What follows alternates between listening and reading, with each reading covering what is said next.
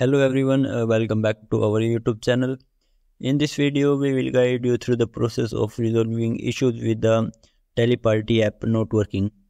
Without further delay, uh, let's dive into the solutions. First solution is uh, force close and restart Teleparty app. To begin, uh, open your phone setting and then navigate to the app manager. After that, uh, select the Teleparty app from the app list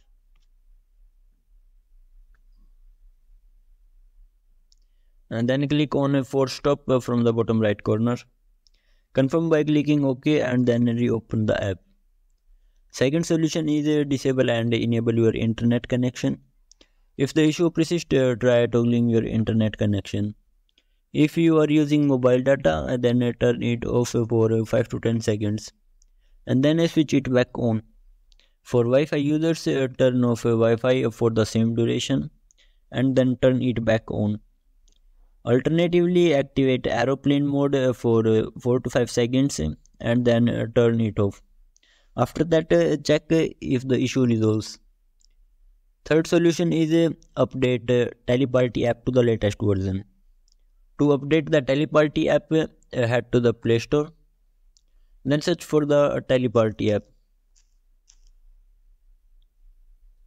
After that, select the app and if an update is available you will see an update button next to the app.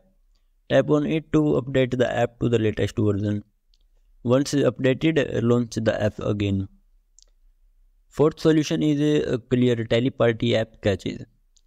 Clearing the app caches can often resolve performance issues. Uh, to clear teleparty app caches go to your phone setting and then open app manager after that, uh, select the Teleparty app from the app list. And then I click on storage and caches. After that, uh, finally tap on clear caches to clear the Teleparty app caches. Fifth solution is uninstall and reinstall the Teleparty app. If the problem persists, uninstall the Teleparty app by going to the Play Store, searching for the app and selecting uninstall. Once uninstalled, reinstall the app by clicking on the install button. If none of the above methods work, the issue may be uh, a teleparty app server is down. In such cases, you may need to wait for some time and try again later. Thank you for watching our video and uh, we hope this solution helped resolve the teleparty app issues for you.